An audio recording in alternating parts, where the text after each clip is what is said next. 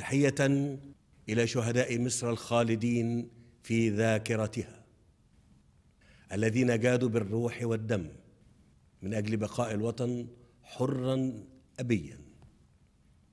وتحية إلى رجال الدبلوماسية المصرية الذين خاضوا معركة التفاوض بكل صبر وجلد لاستعادة الأرض الحبيبة.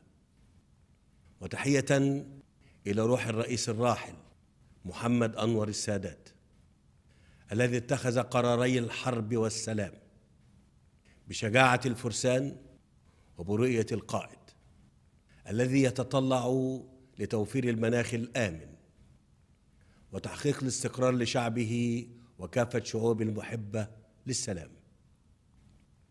إلى أن استعدنا أرضنا كاملة لنبدأ بعدها مرحلة جديدة في تعمير سيناء الغالية. ليكون ذلك بمثابة خط الدفاع الأول عنها. ولعلكم تلمسون حجم المشروعات التي تنتشر فوق ربوعها والتي تهدف إلى تنميتها والاستفادة من خيراتها. وتحقيق الرفاهية لأهالي سيناء الحبيبة.